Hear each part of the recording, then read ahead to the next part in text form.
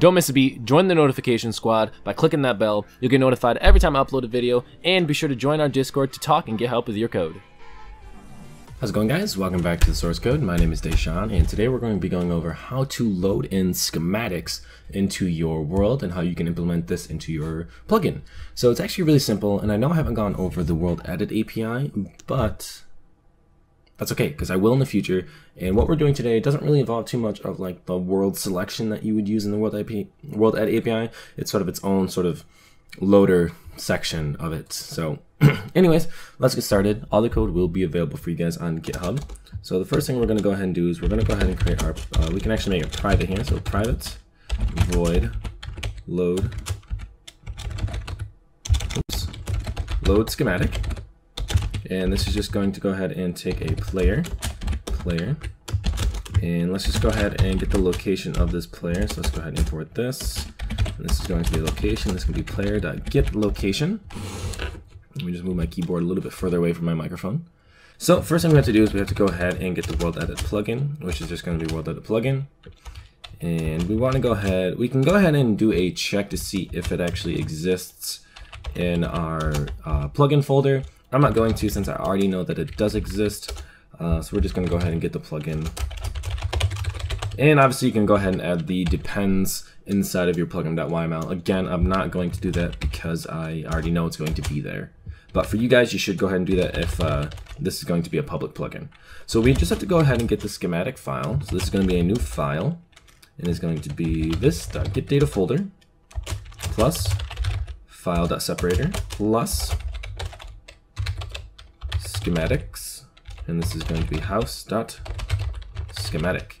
So I already know this file exists. Again, you could make a check here to make sure that this one directory exists and two that this file exists.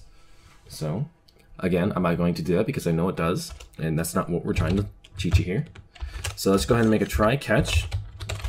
And let's just go ahead and fill out these catch statements quick because we already know what there's going to be inside of them. So this one's going to be max change block expression we're going to have data exception, and we want the world edit world version of that.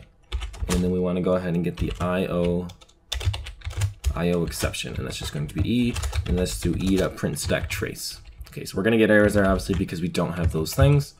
So let's just go ahead and do cuboid clipboard, and we want to go ahead and grab clipboard, and this is going to be MC edit schematic format, dot .gif format, and then we're going to load in the schematic file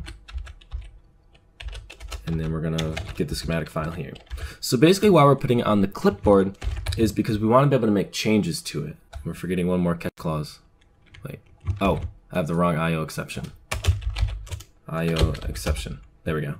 So we want to be able to make changes to it by like pretty much only rotating the object or the, the schematic. But you can also do this so you can make sure like if you use this in a command, you can see if one, the schematic exists, and then you can have it so whatever chat the player does, you can say, would you like to rotate? Why yes. And then if they say uh, yes, then you can say enter in a 90, 80, you can say 90, 80, 270 to 360. Obviously 360 would be pointless because that would just put it back to where it started, but you can sort of get the point there. So we're just gonna go ahead and do clipboard.rotate 2D, and we're just gonna rotate at 90 degrees. Then what we're gonna go ahead and do is we're gonna do clipboard.paste, and we're just going to paste the session which I did not make. So let's go back up here. We're going to go ahead and get edit session.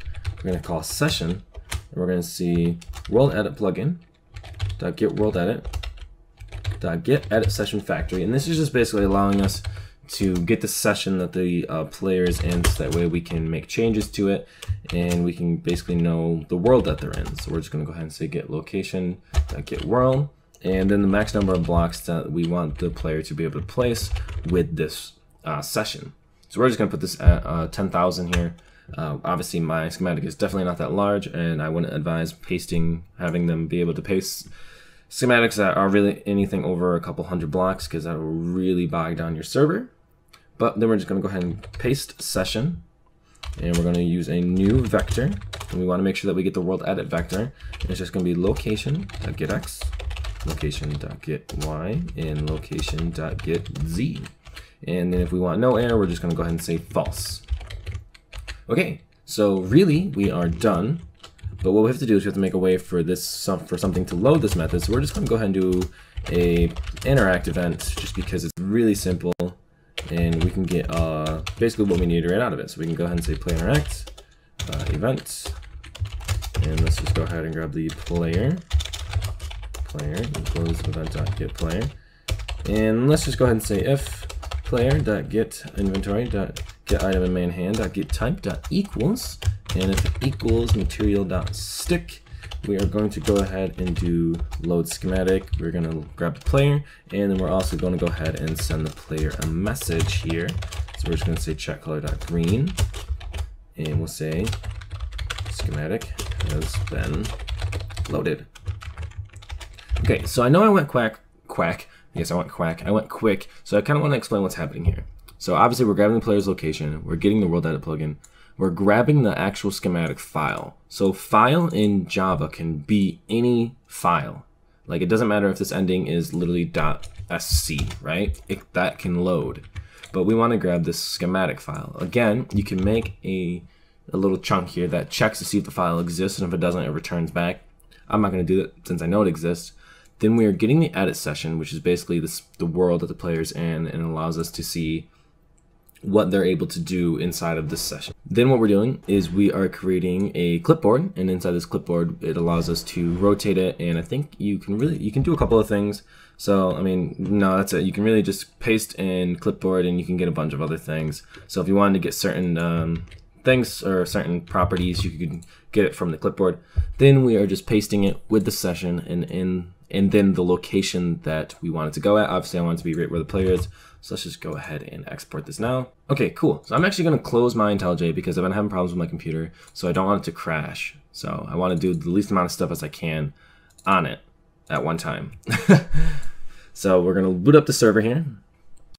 All right, so we are in our world here, and this is the schematic that we're going to be loading in. Obviously, if we go ahead and click without our stick, it doesn't do anything. But if we go ahead and click with our stick, you can see that the schematic has been loaded and most of it has uh, the door works and the ladders work. Sometimes you'll run into an error where like doors, ladders, uh, trap doors or whatever it is, uh, paintings and stuff like that uh, will break, um, but for this time it didn't. So that's all I got for you guys today. If you guys enjoyed this video, be sure to leave a comment, drop a like, and subscribe. And also be sure to join our Discord and head into the suggestions tab and or the suggestions channel and go ahead and suggest, suggest some future videos. But that's all I got for you guys today. And thank you so much for watching. And thank again, thank you again for all the support. Sorry, I can't like talk today. But yeah, see you guys later.